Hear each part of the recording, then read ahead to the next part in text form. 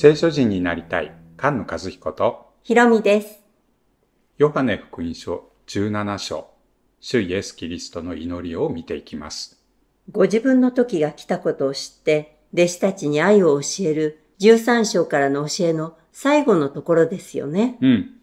その教えが終わったところでイエスは目を天に向けて言われます。ヨハネ福音書は大祭司としての主イエスキリストのことを語る書物ですけれど、まさに、この祈りは大祭司の祈りにふさわしいものですね。うん。福音書の中で主イエスが祈ったということは何度も書かれていますけれど、その祈りの内容が長く詳しく書かれているのはここだけですよね。ただ、この箇所は今まで見てきたヨハネ福音書の箇所と同じように、言葉自体は簡単なんですけれど、繰り返しが多くて、どこで切ってどうまとめてみていいのか分かりにくいものです。特に紙に印刷されている聖書を見ているときには、段落でページが分かれているわけではないので、形を見るのに苦労します。私たちは段落に分けた記入用紙を作って、どういう形なのかを探っています。17章の祈りについては、段落分けした記入用紙の PDF のリンクを概要欄に貼ってありますので、参考にしてみてください。繰り返し出てくる言葉はいろいろありますよね。うん。えくださった、与えられた。これ何度も何度も出てきますね。使わされること、栄光、一つになる。どこで区切って見ていいのか目が回ってしまいますけれど、この祈りの中にこの祈りを要約している箇所があります。11節の聖なる父よから始まる2節と、25節の正しい父よから始まる最後の2節ですね。うん。聖なる父よ。私にくださったあなたの皆によって彼らをお守りください。私たちと同じように彼らが一つになるためです。彼らと共にいたとき、私はあなたがくださったあなたの皆によって彼らを守りました。私が彼らを保ったので、彼らのうち誰も滅びたものはなく、ただ滅びの子が滅びました。それは聖書が成就するためでした。正しい父よ。この世はあなたを知りませんが、私はあなたを知っています。また、この人々はあなたが私を使わされたことを知っています。私は彼らにあなたの皆を知らせました。また、これからも知らせます。あなたが私を愛してくださった愛が彼らのうちにあり、私も彼らのうちにいるようにするためです。聖なる父よという方は前半の最後。正しい父よは後半の最後に書かれています。聖なる父よの方は皆によって守られる。正しい父よの方は知っているということが目立ちます。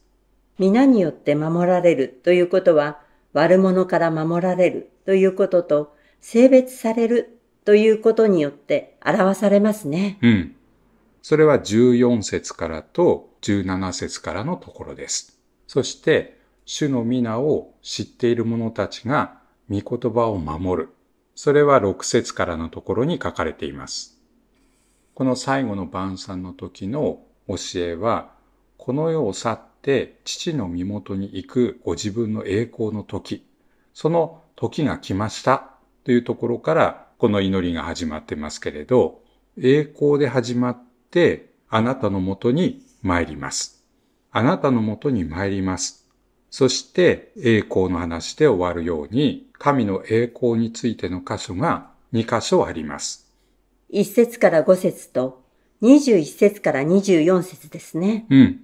この2つの栄光の箇所は、ヨハネ福音書の導入の1章の1節から18節まで、その証の歌と与えられているものの前半と後半を連想するような内容になっています。言葉である巫女の光が表されたという証の歌の前半。その巫女の言葉が幕やしてくださって、恵みと誠に満ちている。その証の歌の後半が21節からの私たちと共にいて一つになるようにという箇所です。12節の彼らを保ち、滅びないように守ること。それはすべての人を支配する権威を持つ巫女がしてくださることですけれど、信じる者たちに永遠の命を与えてくださるんですよね。うん。その永遠の命というのは使わされたイエス・キリストを知ることですと。それは25節の方。あなたが私を使わされたことを彼らが知っていると言っているところとリンクしています。11節の一つになる。26節の愛に満たされる。それは21節から24節の祈りの中に出てきます。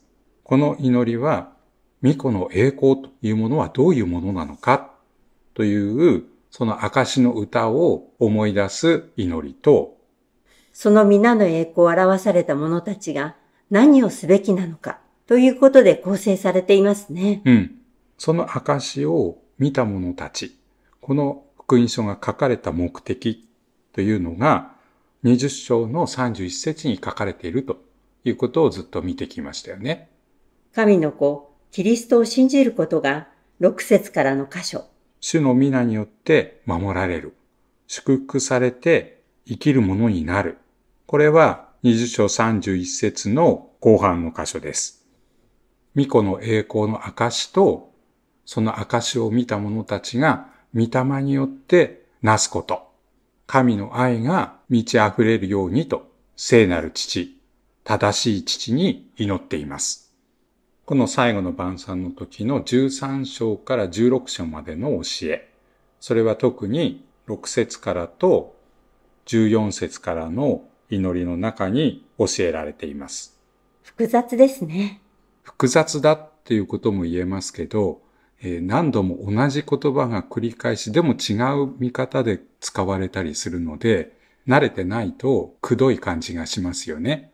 私のものはあなたのもの、あなたのものは私のもの、などと言いますよね。うん。私が一つであるように彼らも一つになるため。私は彼らのうちにいてあなたは私のうちにおられる。何度も食べて反数する必要がありますよね。この祈りを通して、ヨハネ福音書をまた最初から見ていかないといけませんね。うん。聖なる父よ、私にくださったあなたの皆によって彼らをお守りください。私たちと同じように彼らが一つになるためです。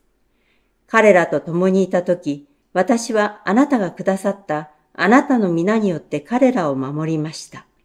私が彼らを保ったので、彼らのうち誰も滅びたものはなく、ただ滅びの子が滅びました。それは聖書が成就するためでした。正しい父よ。この世はあなたを知りませんが、私はあなたを知っています。また、この人々は、あなたが私を使わされたことを知っています。私は彼らに、あなたの皆を知らせました。また、これからも知らせます。あなたが私を愛してくださった愛が、彼らのうちにあり、私も彼らのうちにいるようになるためです。御言葉に生きる聖書人が生まれ増えていきますように。菅野和彦ひろみでした。